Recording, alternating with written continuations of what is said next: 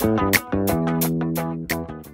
I'm Hank Haney. Thanks for taking a look at the putting impact system. You know, I was looking for a way to develop an easier way to teach putting for our golf schools. And Sam and I got together and we figured out a great system for not only teaching but for practicing. And it's called the Putting Impact System.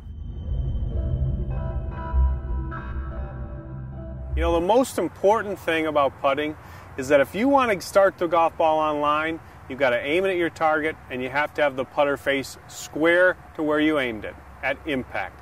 That's the hardest thing to do.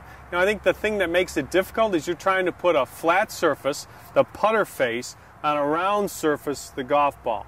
So, what the putting impact system does is it kind of gives you a good visual and a good way to practice of what it's like to put flat on flat. And what I mean by that is, you know, when you're clapping your hands, you're putting flat on flat. Everybody can do it.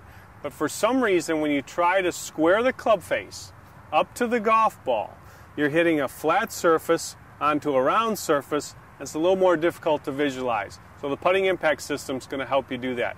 I'm going to give you a few drills that are going to be a good way for you to practice. You're going to get some great feedback from the putting impact system. It's going to tell you whether you're you're pulling it to the left or pushing it to the right because the club face isn't square.